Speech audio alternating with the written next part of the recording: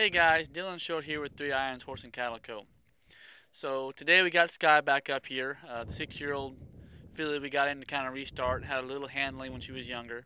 If you hadn't seen the saddling video or any other videos, go check it out. We're kind of using her to demonstrate a lot of things. But So today, once we already got her saddled now, we're going to talk about letting one go in the round pen for the first time, which is usually what I do. After I saddle them, I let them go and let them work out whatever problems they have with the saddle and things. I, I try not to rush it. Um, I don't want to scare them into bucking or anything like that.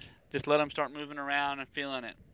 You know, she's been saddled before. I, I don't think she's going to throw a big fit or anything like that, but I'm going to show you how I would handle one being saddled and let go for the first time. So, first and foremost here, I'll take my halter off set it on the rail here. And I usually just kind of let them go. I don't really get too concerned about where they're going, how fast, or anything like that. I got my flag here with me, just in case to start bucking and wanting to come at me, which I, doubt will happen, but sometimes it, it does occur. And to keep them from coming at me, I can get kind of big with it, but right there, she moved off real fine. I'm not going to chase her around here. I'm not concerned about what speed she's going or anything like that right now, as long as she's learning to be drove by me around this round pen. Like I said, a lot of times people can get in here and immediately start wanting to chase them into the lope, and you can actually cause one to buck that way and just scare them into it. So first and foremost, I'm looking for her to relax more than anything versus versus just chasing her through her gaits. So we let her let them work it out naturally and get comfortable with the saddle instead of forcing it. And she's doing all right here.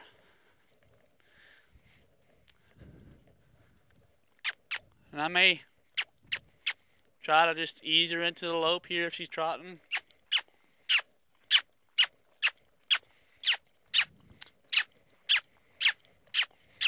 Biggest deal here is I'm not going to chase her. There she tried, and I stopped because she was thinking about it. I was smooching, using my flag, and she thought about going to the lope, so I released.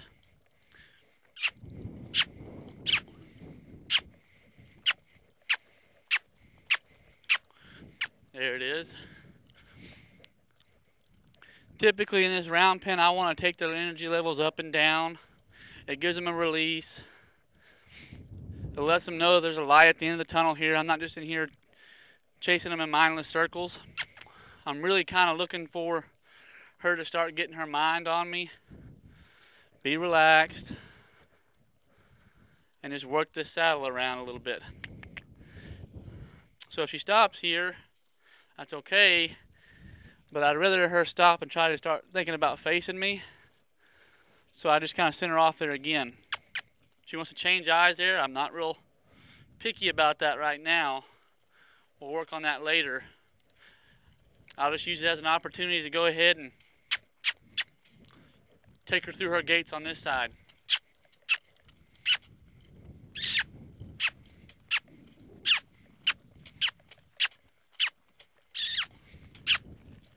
Taking a little longer on this side to figure out what I want, but there it is. She thought about it there.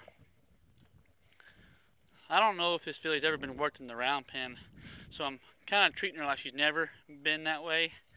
So if she kind of starts thinking about what I want her to do, well, I'll go ahead and release, and I'll just build on it over time.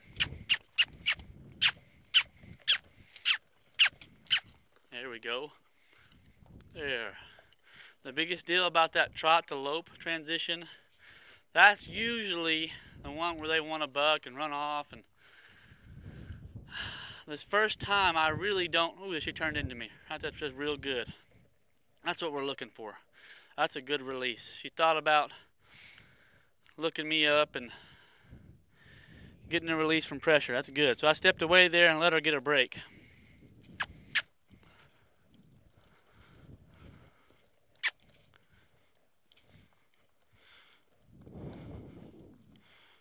But we'll let her figure this out here You really want to get them coming in on both sides. But you can see her ear tilted to me a little bit every now and then, that inside ear right there. And the biggest deal, ooh, right there. So, so right there, she turned into me and I'd give her a release. So I'm wanting her to learn that I can drive her around this round pen and then she kind of can release and come to me for comfort to get a break. I want her to start looking me up and searching me out for comfort and finding confidence in being with me.